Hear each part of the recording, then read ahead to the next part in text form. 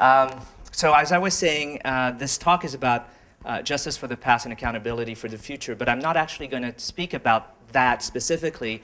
I'll be touching on them throughout the presentation. And as, um, as Vanika was saying just now, he stole my thunder because the, the first few slides are really about what the abstract says. That uh, what, what does reinvention mean and what does it mean to reinvent ourselves? Indeed, how do we reinvent ourselves with memory and plural identities in the aftermath of genocide? Do we forgive and forget or do we endlessly wait for justice, which is the theme of uh, Peter Leuprecht's talk this morning? So uh, I'll do this in five acts, uh, five reinventions. First, I'll talk about uh, my parents, uh, who were of Chinese uh, ethnicity and who became Cambodian uh, in their thinking because they gave their kids Cambodian names, even though they themselves had Chinese names. Going from Cambodians to fake Vietnamese, which is the story of how we got out of the killing fields and escaped the Khmer Rouge. Going from Vietnam to France, and then from French lives to American lives, and finally from American to world citizen, which is really my story, uh, my personal story.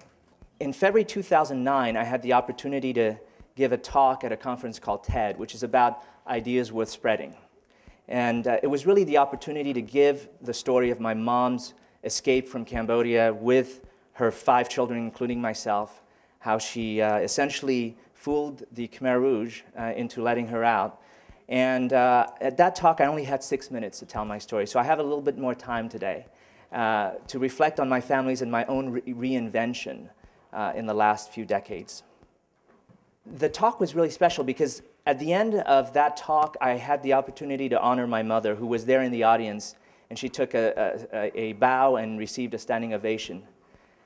And the audience included my uh, wife, eight months pregnant at the time, and some very important people in the audience as well. now, I had the feeling then that maybe, you know, my mom was 73, it might be the last trip we would make together, and little did I know how right I was, because uh, seven short months later, she passed away. And it gave me, it's given me in the period since then the, the opportunity to rethink and to, to reflect upon her legacy and this legacy of, of reinvention uh, through escape, reinvention from a married woman to a widow. Uh, she lost my father during the Khmer Rouge. Uh, she lost her firstborn, my oldest brother. Uh, he disappeared uh, in the first week. And essentially to, to, to, bring that story to you now. So let's begin. Uh, Act one. Uh, this, this is the, the story of how uh, they were, my parents, Chinese ethnics. I mean, they were born in Cambodia, but they were of Chinese ethnicity. And they came from this part of China, southern China, Canton, Hakka, uh, Chao, their ethnic backgrounds. So here's my mother uh, as a young woman. And this, uh, this is her background Hokkien, uh, Cantonese, opera singer here. Uh, and she grew up a pretty privileged life. She is here in Cat uh, with friends in the polka dot flower suit, a bikini suit. Uh, she's here holding a parasol, walking up the steps of Udang uh, Temple. And my father, he was of uh, Teochew descent. Uh, there you have good Teochew porridge and good uh, Teochew opera. And together they decided, at least as uh, Chinese of Chinese ancestry, her name was Kam Yuk Lim, his name was Ir Mui Kung, to give all their children Khmer names. So uh, my first, uh, my oldest brother, uh, her firstborn was named Sangkum, and then her lastborn, me, uh, of course, I'm named Sophal. So we, we all were given Cambodian names, and it really showed that they were beginning to accept, certainly, Cambodian nationality, even though their parents may not have by giving them Chinese names. We lived in a house not far from the road to the airport there in Phnom Penh in a three-story mansion and uh, I got the chance in December to actually visit that house. It has uh, 10 families living in there, none of whom are related to us. But uh, at least it's still there and it's benefiting 10 families and not one general or an ayadam of some kind.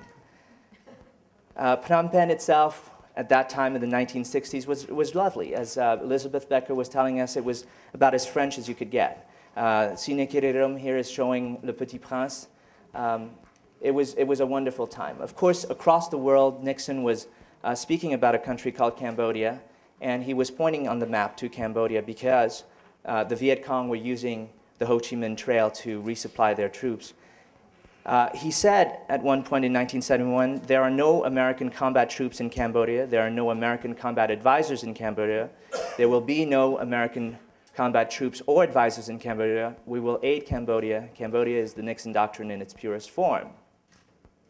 But what did this mean? Well, we know what this meant. B 52s uh, dropped their payloads, and uh, Cambodia got more bombs than five Hiroshimas and Nagasaki's from 1968 to 1973, 65 to 73, sorry. So April 17, 1975, we've been told the story before. The Khmer Rouge come, they uh, immediately evacuate the city under the pretext of impending American bombs. My family leaves along the mass of, of uh, refugees. 2, 2 million Cambodians had amassed themselves in Phnom Penh at this point because they were running from, from the conflict and they were all to be evacuated, including hospital patients. So our family ended up in Pursat province after a few months. And uh, one day in late 75, circa sunset, my mother actually uh, recalls, uh, told me that uh, the Khmer Rouge commune chief called a meeting and said that Vietnamese citizens were going to uh, re re return to Cambodia. They were the Vietnamese government wanted them back. So she'd just come back with my father from working in the fields. And so they have this meeting, and she decides at that point that you know, to stay is to die, to leave is to die, so she might as well try to take her chances and leave. And so she tells my dad to put our names down. And it takes a few months, actually, before the process really begins. But when the process does begin, on the third day of the journey towards Vietnam, essentially, my father, who's been sick with dysentery and uh, malnutrition, dies. Uh, and in a way, it would have been, it was a kind of blessing in disguise because he didn't speak any Vietnamese and there was really no plan for him to, uh, as to how he would convince the authorities that he was in fact Vietnamese. My mom spoke some Vietnamese because she had a nanny and friends and servants who spoke Vietnamese, and she'd learned from going to the markets how to speak some street Vietnamese. So, Act Two, uh, from Cambodians to Vietnamese, uh, to fake Vietnamese. Uh, we essentially use language as our passport, as our Vietnamese passport, and that's the only basis for, for passing. There were two exams. My mother, actually, her Vietnamese were so bad, she'd given all the boys' girls' names and all the girls' boys' names in Vietnamese, which certainly would have given us away. But a nice Vietnamese lady she met, uh, actually, told her this and tutored her for three days in the forest, telling her exactly, uh, teaching her Vietnamese from scratch. And she, with that help, she was able to pass the language exams. Uh, one from the, Viet, uh, from the Khmer Rouge cadres and another one from the Vietnamese cadres. So uh, she's able to take me and uh, my four siblings, four surviving siblings, to Vietnam, and they deposit us in a city called Hong Ngu, uh, which is in the Mekong Delta, and actually it's not over there. I mean, it's not freedom. Uh, the Vietnamese authorities tell us seven days to find relatives to, to, to claim us, otherwise uh, we're off to this new economic area, which is really like Pursat province under the Khmer Rouge, maybe a little bit better. We had an aunt in uh, Saigon but the only contact info for her was in the shirt pocket of my father, who was buried with it. And so, uh, by sheer luck, at the market in Hong Ngu one day, my mom bumps into a, an old friend who knows the sister of my um, aunt's husband and sends word to her. And uh, on, this, on the final night, as we're going to be led off, he arrives by boat on a 24 hour journey, it seems, to, to bribe the guards to let us out in the middle of the night. And this is a picture from 1978 of my mother here, uh, my aunt and uncle, and me, precocious me. Um,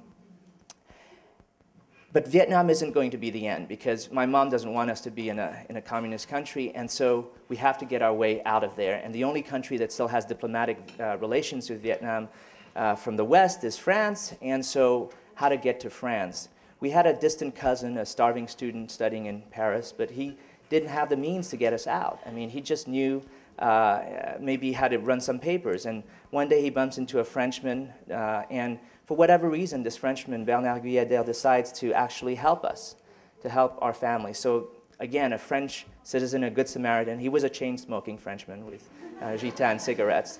Um, and he decides, he actually finds a, uh, opens up the phone book and finds a, a woman with the same last name as my mother and convinces her somehow even though she doesn't want to, to sign papers saying that she's related to my mother. Uh, and then they get lost in the mail, and then he just forges her signature. Bernard, actually, my mom told me, uh, hopped a gate at the Ministry of Foreign Affairs uh, and uh, uh close of business, and uh, bangs on the counter there to say that by his watch, it isn't closing time yet. He needs to get service. And this is actually a document from, from that time, a, a fiche familiale d'état civil, showing my mother, uh, my father's name, and saying he was deceased in Pursat province in 75. It's uh, from the uh, Office of, uh, for the Protection of uh, Refugees and Stateless Persons. So off to France we go in 78, and I grew up pretty much, I reinvent myself as a French boy. Um, uh, pretty poor circumstances. We lived in Meudon. I uh, go to kindergarten without underwear. The teacher keeps sending notes back to my mother saying, Why aren't you wearing underwear? Uh, please give your son underwear. It, it, turns out after a while she meets my mother. She says, you know, why aren't you responding? Well, we don't have money for underwear. And so the French community there gave us a bunch of bags full of clothes. Uh, my sister and me there. And then in 85, my aunt, uh, at the second from, uh, from the left there, is actually uh, visiting from the United States. She's, uh, she's resettled in California, not the same one from Vietnam, but this is another sister it's great to have lots of sisters everywhere. Uh, so she actually comes to us and says, well, you know, you've got to move to the United States. France is really no place for you. Look at you. You're thin. You're not doing well. And, and of course, the French system, you know, is, is, is you know, Europe is the bedrock of uh, the, the welfare state, but it wasn't very friendly towards refugees in 78, early 80s. Uh, she, my mother, had post-traumatic stress. She had to get, uh, she was put on all these psychotropic drugs and uh, in and out of mental institutions, and it wasn't, it wasn't pleasant. So we leave in 85 on this Pan Am ticket, uh, now defunct, um, and arrive in the United States in California and start reinvent ourselves again, French lives to American lives. And my mom ends up working in this garment factory in Oakland's Chinatown in California above Phnom House restaurant, uh, making Jessica McClintock dresses, which um, are very expensive dresses, but she's not getting much money for it, I can assure you that. Uh, we subsist on food stamps, um, and eventually at 16 I enter Berkeley where I do my uh, bachelor's in political science and economics, returning later for a PhD. I then go to uh, Princeton after undergrad at Berkeley and become an American citizen. So I've reinvent myself as an American citizen now. I had actually tried to become a Cambodian uh, or tried to obtain a Cambodian passport in 1996 after $360 in bribe, was told no. Uh, and so, what else is there but to become a US citizen, right? Um, Act 5 From American to World Citizen. Uh, from Princeton, I end up working at the World Bank for three years. I do this on, uh, uh do work on Algeria. It's really to be an international bureaucrat, honestly. Uh, and I work on Algeria, West Bank and Gaza, Tunisia, and other countries. I also work on Cambodia, which becomes my passion, of course. I worked on the poverty assessment for Cambodia, the 1999 one. And then a short stint at the Asian Development Bank in the Philippines and Cambodia, working on transparency, anti-corruption measures. And then the UN Development Program, where I served as an assistant resident representative in East Timor. Now, you know, all of this was sort of motivated. Uh, later on, I saw this quote from Mark Malloch-Brown. He had worked at uh, the World Bank as a vice president and at uh, UNDP as its head. And he says, There's no more noble endeavor than the fight for social and global justice and for peace and development. And it's really what motivated me to kind of give back. I mean, I'd, give, I'd, I'd receive so much. In a lot of ways, I, I feel like this UN kid, except I never had the UN experience. I was a refugee, right? Um, but this, this, the, this motivation really comes from the fact that the UN as an institution, of course, is there and has always uh, fought for human rights. So in 1948, the Universal Declaration of Human Rights says in its preamble, all humans are, uh, all, all human beings are born free, equal in dignity. They are endowed with reason and conscience and should act towards one another in a spirit of brotherhood. Uh, but this brings up the issue of rights and responsibilities. I mean, this, yes, there are rights, but there are also responsibilities for other nation states. And it's something I teach about now as a professor, assistant professor of national security affairs at the Naval Postgraduate School in Monterey, California. I have these junior officer students, and they need to learn about the responsibility to protect, which is a, a, norm that has been described earlier in our colloquium but hasn't really been named as such. So, this R2P idea is really this, this idea, this new international norm that's supposed to protect all these people from crimes against humanity, ethnic cleansing, uh, genocide, and so on. Uh, it's supposed to trump sovereignty. You know, countries say you can't come through our borders because we're a country, we're a nation state. But when you're abusing your people, there should be intervention sometimes. And we know that the UN Secretary General has worked hard to do this. But of course, the UN fails. It's, a, it's an institution of, of people, and there are different motivations and rules. And we hear over and over again, uh, never again when it comes to genocide, for example. And we know, of course, that the Holocaust and during World War II claimed 11 to 17 million lives, not just Jewish lives, but Roma and homosexuals as well. And in uh, Rwanda, 800,000 to a million Tutsis, we heard this morning, uh, slaughtered and maimed. And in Bosnia, the first uh, genocide in Europe since World War II. Here in Srebrenica, 200, uh, 800, 8,000 men and boys were killed. Bosnia claimed 200,000 plus lives, I should have said. And finally, Darfur, 300,000 plus lives where, and counting really to date. But you don't need to look uh, really at all of the world. You just need to look at Asia, really. I mean, it, it's, you look at Vietnam, for example. You've got Father Lee uh, muzzled physically in, in, a courtroom for screaming down with the Communist Party, sentenced to 10 years after this scene here. Uh, you've got North Korea, uh, starvation, a daily occurrence concentration camps, the likes of which perhaps only in Cambodia or Nazi Germany. In Burma, monks protesting, being killed and maimed. And in Tibet, certainly, let's not forget the same happening. But Cambodia is still a troubled place, as we heard from Peter Leuprecht this morning. Um, police beating in 2007 of Khmer Kampuchea monks uh, not, I mean, sometimes I show these pictures and people think it's Burma, but this is Cambodia, okay? Uh, this, this is, uh, th these are the activities that take place in a country uh, supposedly pluralistic and democratic. Uh, there's a case in December of last year of Seng Kunnaka, who worked for the United Nations uh, World Food Program. Here he is. He printed a blog entry from KI Media, a blogspot.com website, and shared it with two colleagues at WFP and got six months in prison for that. He's still serving right now. And in the last three years, uh, the case of Boeung Kak Lake, uh, 20,000 people affected.